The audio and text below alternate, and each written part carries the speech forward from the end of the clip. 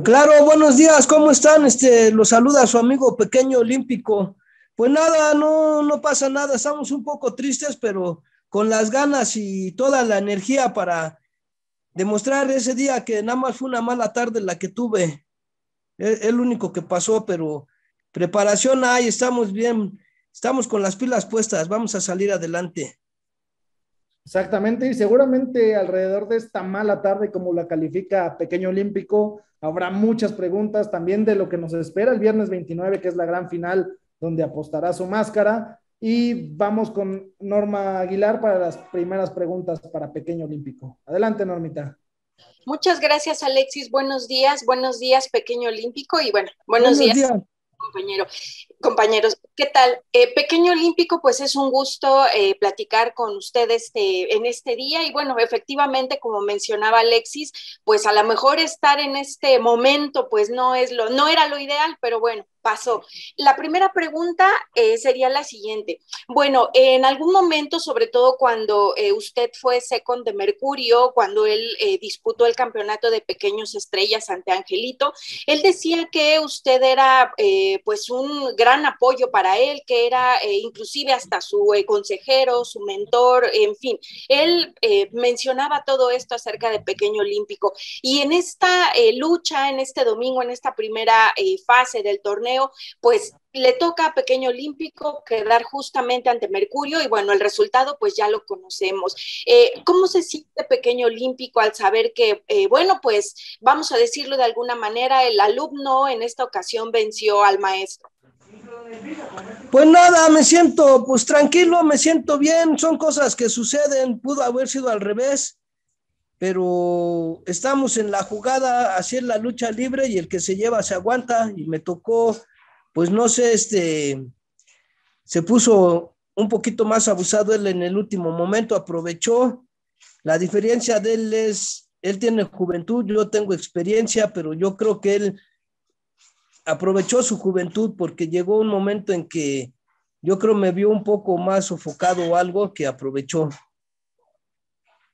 Bien, ahorita que usted menciona algo eh, muy importante que es, bueno, la experiencia que usted tiene, la juventud que tiene eh, Mercurio, eh, hay, algo interesante. Ahora en la, en la siguiente fase que vamos a ver, se van a presentar, bueno, Aéreo, Pequeño Magia, se presentan otros gladiadores experimentados como usted, como el caso de Último Dragoncito, por ejemplo, y recientemente, bueno, Aéreo mencionó que Último Dragoncito debería retirarse dijo que pues ya no tenía nada que hacer en la lucha libre, igual refiriéndose a que han sido muchos años de experiencia.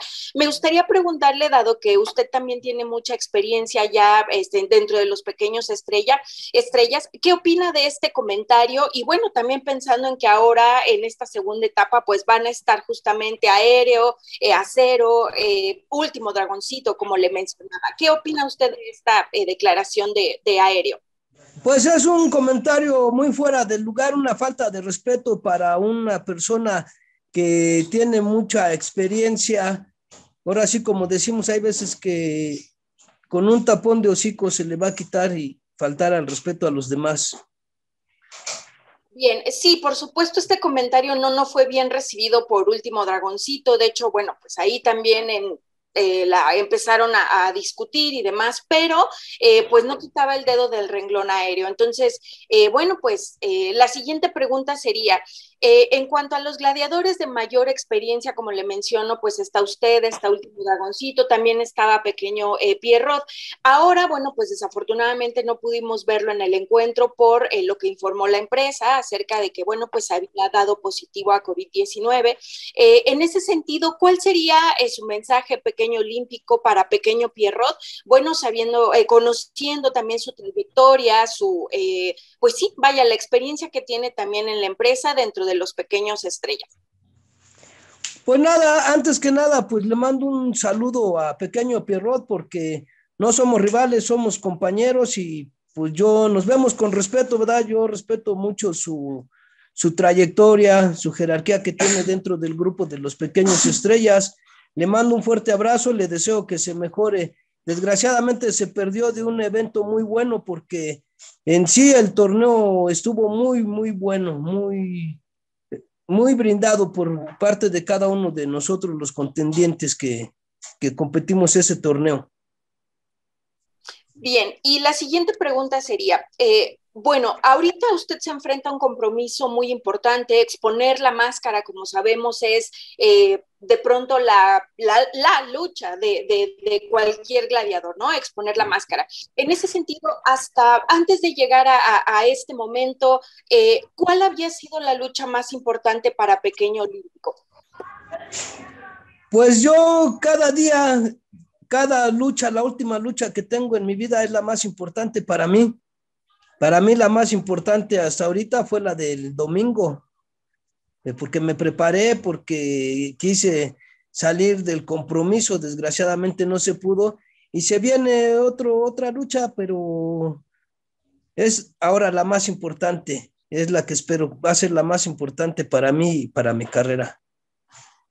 Bien, y eh, bueno, respecto a, eh, vamos a recordar un poco los primeros años de Pequeño Olímpico, los primeros, eh, sí, vaya, eso, eso, esos momentos en los que usted empezaba en la lucha libre, en los que era un gladiador que veía a otros más experimentados participar en otras batallas. En ese momento, cuando usted tenía un compromiso en puerta tan grande como era una lucha, un campeonato, etcétera, ¿qué era lo más importante para pequeño olímpico. Eh, a lo mejor eh, pensaba en la experiencia de otro luchador, a lo mejor no. ¿O eh, qué era lo más importante en ese momento cuando usted estaba, por ejemplo, en el lugar de gladiadores ahora muy jóvenes, por ejemplo, como Acero, como los que comienzan ahora o que tienen, digamos, menos experiencia y que se van a enfrentar en un torneo como este?